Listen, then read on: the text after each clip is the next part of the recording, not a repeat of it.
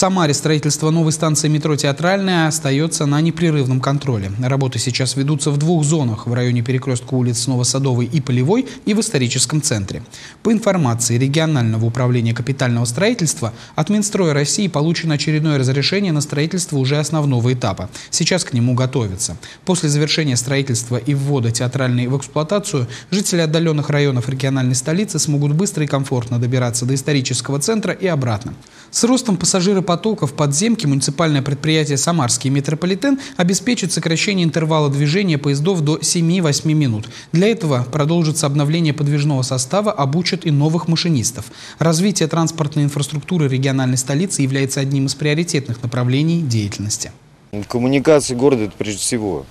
Вот чтобы город рос, чтобы люди могли добираться с окраин до центра, смотреть те же спектакли – потому что на окраинах театров как бы мало, практически их нету.